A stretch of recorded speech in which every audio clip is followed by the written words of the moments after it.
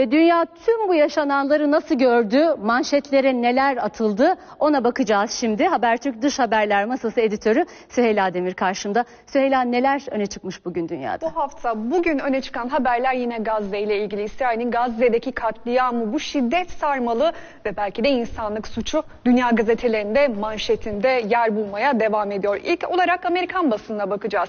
New York Times gazetesi Gazze'deki protestoların e, sembolünü manşetine taşımış Leyla Bebek. Biliyorsunuz öldüğünde sadece 8 aylıktı.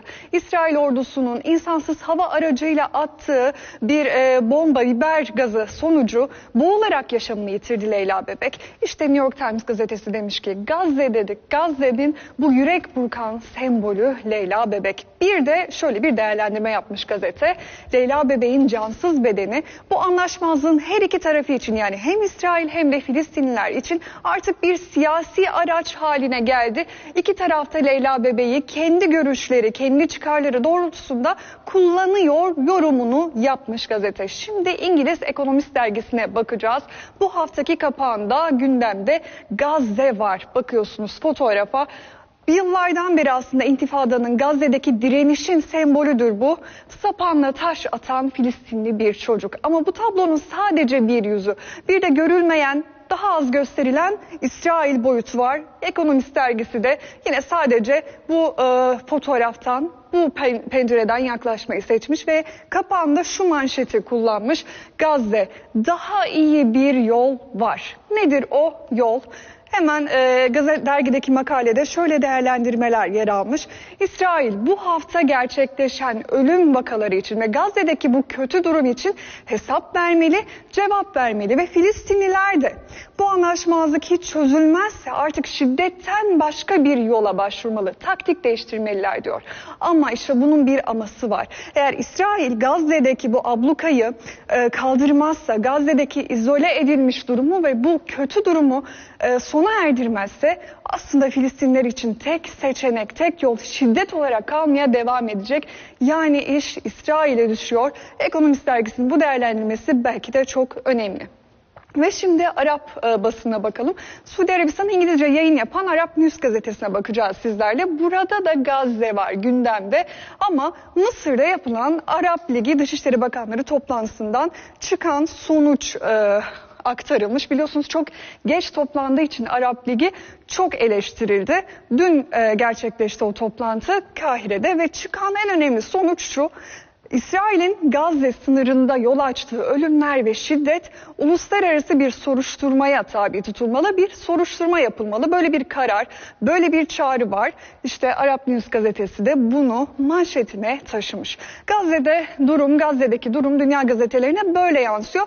Ama gündemde başka başlıklar da var. Şimdi Rusya'ya gidelim. Komsomolskaya Pravda gazetesi Dün e, Rusya'dan çok ilginç bir haber geldi. Soçi'de Esad ve Putin buluştu. Aslında bu iki liderin Rusya'daki üçüncü, Soçi'deki ikinci buluşması Suriye krizinin başlamasından bu yana. Bu görüşme de diğer önceki görüşmeler gibi son ana kadar hatta Esad uçağıyla Şam'a inene kadar gizli tutuldu. Hiçbir bilgi verilmedi. Peki ne çıktı o görüşmeden?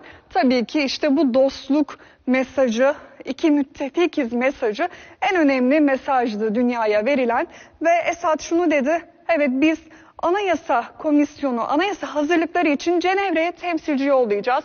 Birleşmiş Milletler çerçevesinde yürütülecek bu çalışmalara katılacağız dedi. Putin de dedi ki Suriye'deki yabancı askerler artık ülkeden çıkarılmalı. Bizim hedefimiz bu dedi ama o yabancı askerler Amerika mı yoksa yabancı savaşçılar mı bilmiyoruz. Bu birazcık muğlak kaldı. Ve şimdi bir e, magazin haberiyle diyelim noktaya, noktalayalım. Dünyanın konuştuğu ve konuşacağı bir kraliyet düğünü var. İngiltere'nin ve dünyanın gündeminde yarın gerçekleşecek. E, Prens Harry ve Amerikalı oyuncu Meghan Markle yarın evleniyorlar. Herhalde dillere destan bir düğün olacağı kesin. Ama bazı pürüzler var. Nedir o? Meghan Markle'ın babası katılamıyor düğüne. Aralarının açık olduğu aslında bilinen bir gerçek. Meghan Markle da açıklama yaptı. Babam sağlık sorunu nedeniyle düğünde olamayacak dedi. Ama Daily Express gazetesi çok güzel bir manşet atmış. Demiş ki işte bu aşk dolu gülümseme diyor ki bizim büyük günümüzü hiçbir şey bozamayacak. Babamız gelemese bile biz yarın çok güzel bir düğünle evleneceğiz mesajını dün çift verdiler ve dünya merakla bu düğüne kilitlenmiş durumda söz sende. Evet yarın gözler bu kraliyet düğününde olacak Kate Middleton, Prens William'ın ardından ikinci bir düğün. Çok teşekkürler Süheyla.